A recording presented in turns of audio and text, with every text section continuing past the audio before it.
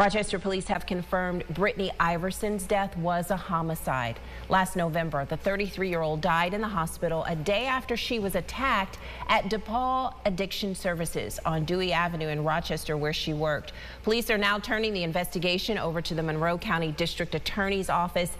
They'll determine if any charges will be filed. Tonight at 11, Iverson's father reacts to these new developments.